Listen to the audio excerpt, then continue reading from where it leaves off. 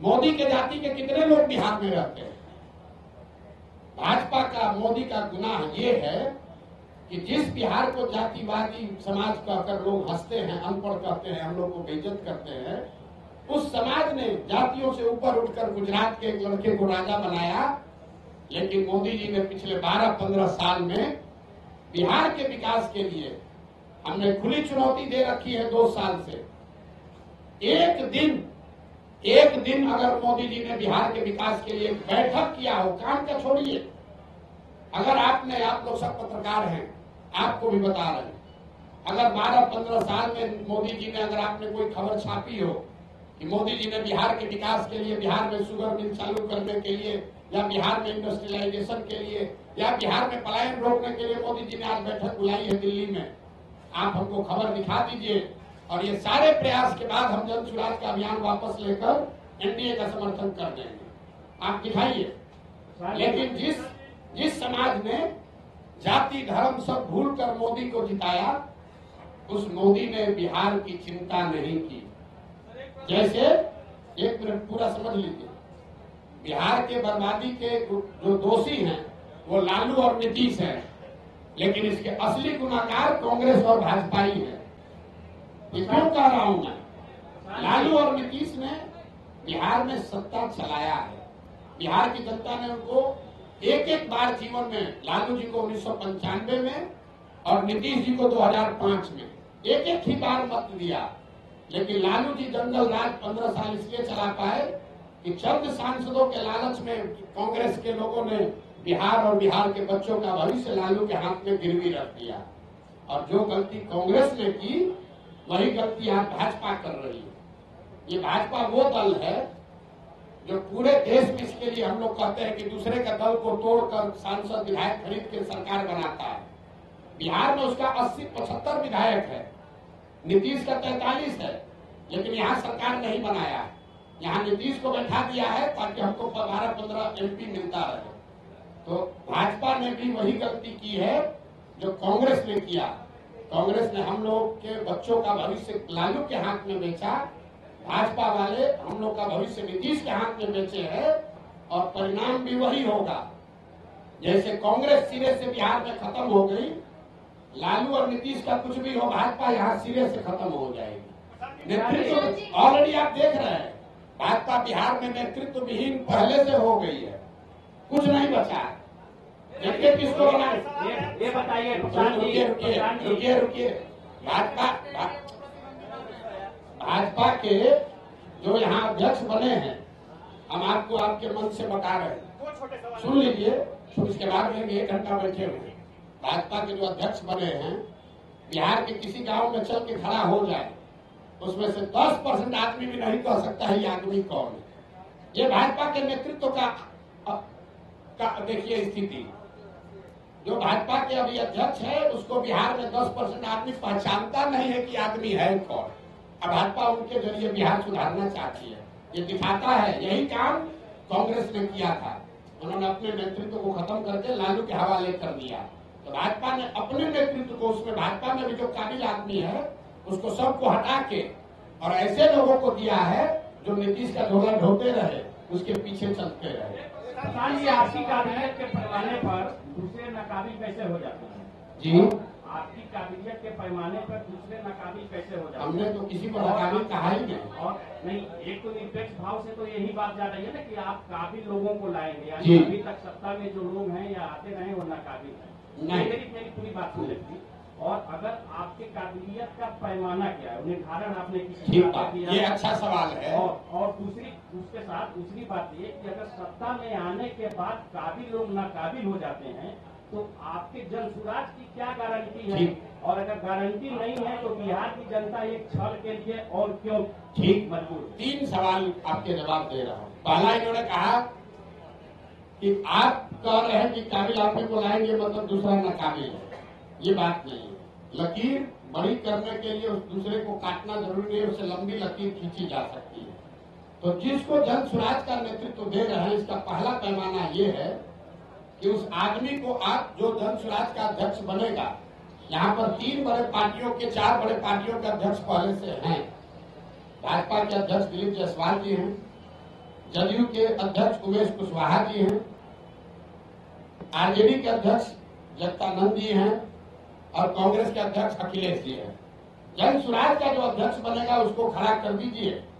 और पाँचों के सामने उसकी काबिलियत, उसका डिग्री, समाज में नज़रिया और किसी भी विषय पर आप उससे बहस करा लीजिए। खुद तय कर लीजिए कि उसमें काबिल कौन है। काबिलियत का पैमाना समाज है। दूसरी बात आपने कही कि ये इसकी क्या गारंटी है कि जन सुराज का आदमी, अगर काबिल आदमी भी गलत बन जाए इसीलिए देश में पहली बार ये घोषणा हमको दो को करनी है, लेकिन आपने सवाल उठाया है। देश में पहली बार किसी राजनीतिक दल ने अपने संविधान में ये लिखा है राइट टू रिकॉल कि अगर जो व्यक्ति जन सुराज के टिकट पर चुनाव लड़ेगा, उसको ये एफिडेविट साइन करके देना पड़ेगा लीगली कि जन सुराज के संस्थापक सदस्य उस विधानसभा क्षेत्र के। दो तिहाई, एक तिहाई जन सुराज के संस्थापक सदस्यों ने अगर आपके खिलाफ अविश्वास प्रस्ताव ला दिया और फिर वहाँ वोटिंग हुई और जन सुराज के संस्थापक सदस्यों में आपने अगर अपना विश्वास खो दिया तो आपको रिजाइन करना पड़ेगा। ये एफिडेविट देने के बाद ही आप जन सुराज से लड़ पाएँगे। इस बात को हम लोग जन सुराज अपने संविधान में लिख रहा है। तीसरा और अंतिम सवाल। कि जन सुराज पर भरोसा क्यों करें? ठीक बात है, ये अच्छा सवाल है। जन सुराज पर सब भरोसा इसलिए करें कि पहले से जो लोग यहाँ पर हैं, वो एक्सपायर मेडिसिन है। आपने उसको जाँच लिया, परख लिया, जानते हैं कि ये दवा काम नहीं करती। मान लीजिए कि आपके घर में कोई बीमार पड़ गया, भगवान न करे, और उसको कोई ऐसी बीमारी हो गई जिस सुधर ही नहीं रही है। डॉक्टर ने दवा दिया, हर तरह का दवा दे दिया, वो सुधर नहीं रहा है। आपने कहा, डॉक्टर साहब, इससे क्या होगा अब तो नहीं सुधर रहा डॉक्टर ने कहा, भाई, एक नई दवा आई है।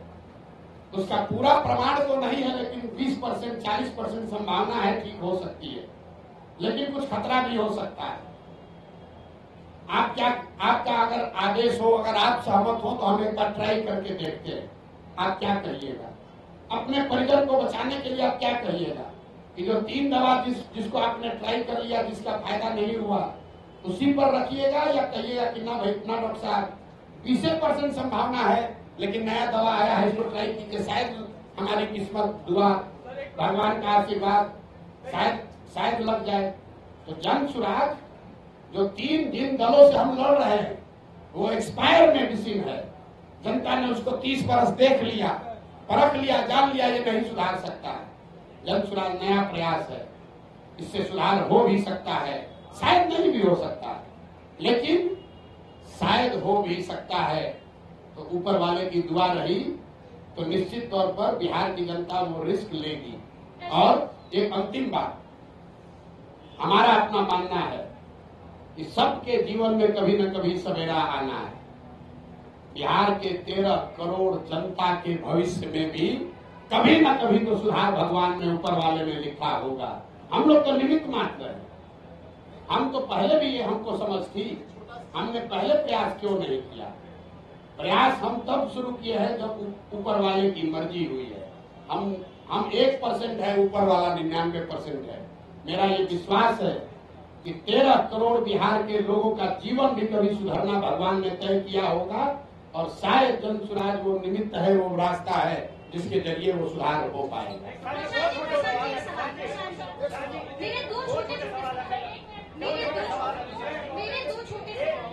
उनके भी दो छोटे हैं, आपके भी दो छोटे हैं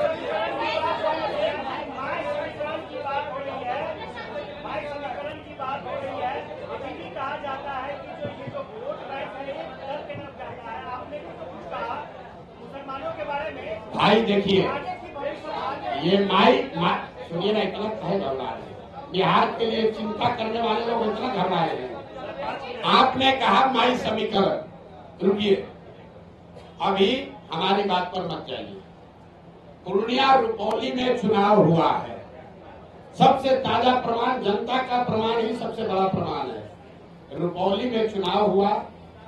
माई समीकरण की बात करने वाले आरजेडी वालों ने बीमा भारती जी को वहाँ उम्मीदवार बनाया। रुपौली की स्थिति से जो लोग जानकारी रखते हैं बीमा भारती जी के अपने जाति के पैंतीस चालीस हज़ार लोग उस विधानसभा में रहते हैं। पंद्रह हज़ार एम वाई में वाई समाज के लोग, यादव समाज के लोग रहते हैं और पैंतालीस हज़ार वहाँ मुसलमान रहते हैं। तीनों मिलाइएगा तो एक लाख हुआ। और माई समीकरण के जमींदारी का दावा करने वाले लोग, ठेकेदारी करने वाले लोग के कैंडिडेट को तीस हज़ार वोट आया। है दूसरा देखिए, एनडीए का अति पिछड़ा तो नीतीश जी के साथ है।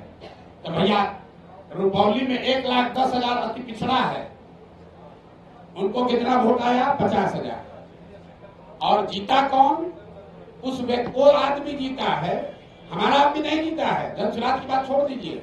वो आदमी जीता है जिसके जाति का पाँच, छह हज़ार आदमी वहाँ रहता है। और आप लोग कह रहे हैं कि बिहार में माई समीकरण है, सब जाते हैं, पब्लिक सब पागल है। अरे भाई, आप ये समझिए।